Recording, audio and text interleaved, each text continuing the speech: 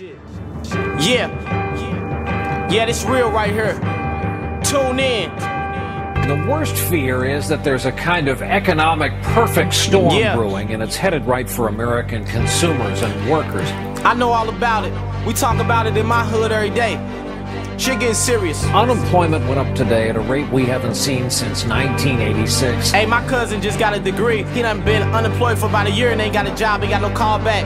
The big news, the bad news, was the oil market. Oil rocketed up $10.75 a barrel. I ain't One gotta day, tell y'all about up gas. more than 8% in Hey, this look. one day to close at Cost of living. $138.54 a Cost barrel. Cost of living. Yeah, that's what to talk about. All that bubble gum bull, I don't wanna talk about. Let's paint the picture. You get the whole portrait. Trying to go corporate, cop a suit and tie and take the office route. But these record labels ain't offering offers out. Them offers that they offer got these artists looking awful. Ouch.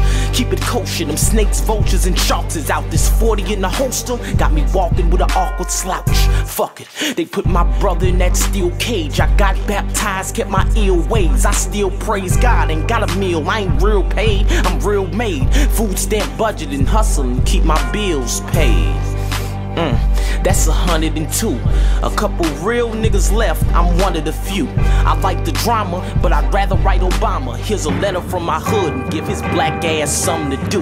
Then there's Wall Street. The Dow plunged almost 395 nigga, I points. don't, I don't give a fuck about no stock market. Now I don't got no stocks. What a way to head into the first full weekend of June. CNBC's Yeah. Scott Cohn. It's real shit, nigga. It's my life, everyday life on the come has up. never gone up this much in a single day. That was Bush doing that shit.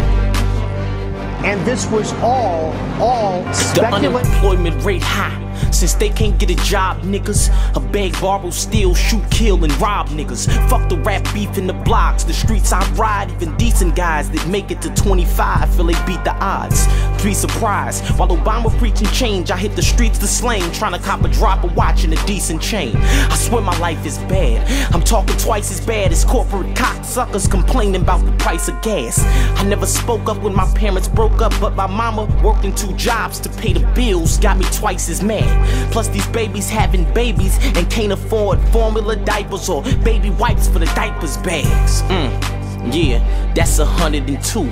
A couple real niggas left, I'm one of the few. I like the drama, but I'd rather write Obama. Here's a letter from my hood and give his black ass something to do. I will leave it up to Senator McCain to explain to the American people whether his policies and positions represent long held convictions or Washington calculations. But the one thing they don't represent is change. Change is ending a war that we never should have started. Change is finishing a war against Al Qaeda in Afghanistan that we never should have ignored.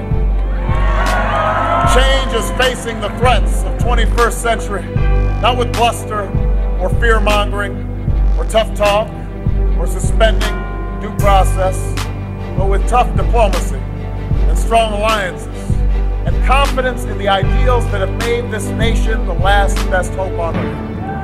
That is the legacy of Roosevelt and Truman and Kennedy. That, Iowa, is what change is. That is the choice in this election.